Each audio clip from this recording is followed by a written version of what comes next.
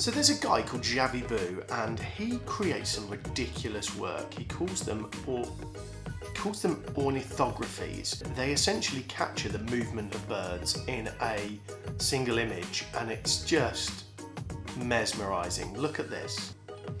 Now, I've tried to do this a few times and I've failed miserably.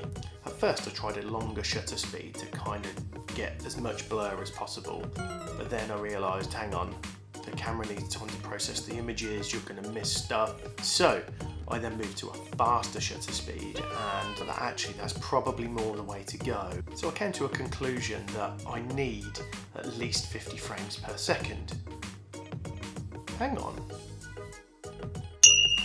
this camera shoots 50 frames per second in 4K and it shoots 1080p in 100 frames per second. The biggest problem I've then got is motion blur, so a slightly longer shutter speed than normal. So I'm going to try out 50 frames per second with a 50th of a second shutter speed and 100 frames per second at 100th of a second. That should give me the motion blur that I need. Split them up by frame, merge them together in one image. It sounds like it has to happen. It's going to be the one. It definitely is the one. Before we do anything though, let's make a coffee.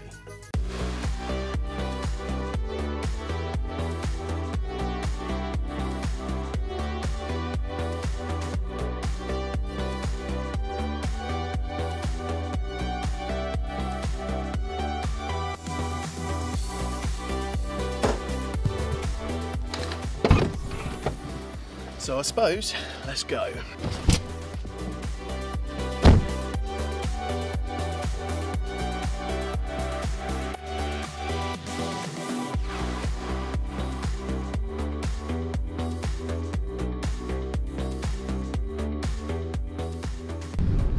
Yesterday turned out to be an absolute downpour.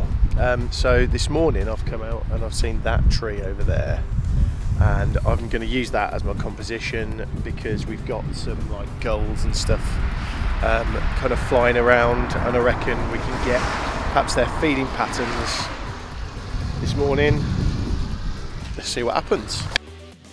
As the gulls were flying around I could definitely tell that this was going to give me a clear indication as to whether my settings were going to be absolutely bang on with the frames per second and the shutter speed this was 100 frames per second, 1 over 100 on the shutter. So let's have a look at the image that this created.